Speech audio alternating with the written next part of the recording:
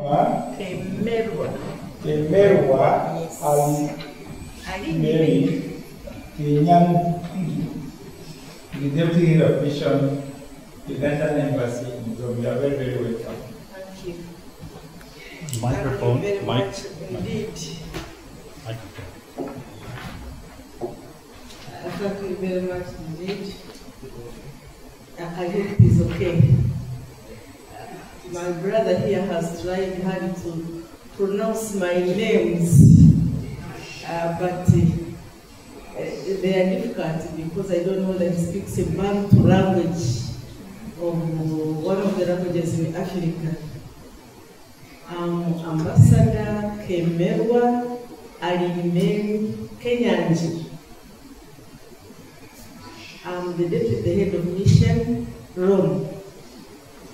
I have been here for,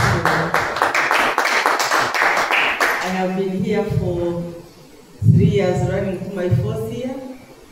And um, I feel very happy uh, to represent my government, represent government interests, and to emphasize the relationships and the synergies that are there between the Uganda government and the Republic of Italy. It makes me very happy indeed. I'm sure most of you are very much aware of the work and roles of an ambassador. Uh, most of them these days we talk about commercial diplomacy, we talk about socio-economic transformation, and those are the areas we look at. Our relationship with Europe and Italy in particular is not new, and it has not come only through government to government, but we have also had a lot of working relationships with Italy, let me slow down on Italy, Italian government through private partnerships.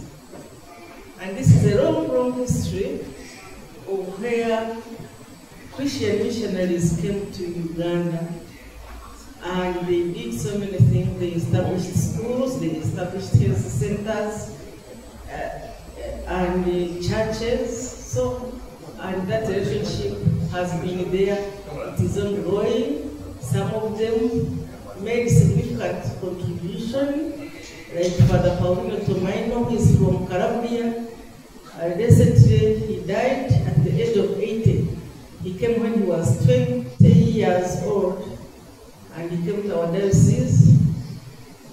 And at that time, he was a young man, of course, he met so many challenges. And like expected of a religious person, he wanted to start with schools, but his fellow religious people wanted him to start with churches, construction of churches. But his argument was, when you educate these people, they will be able to get their way through and construct churches.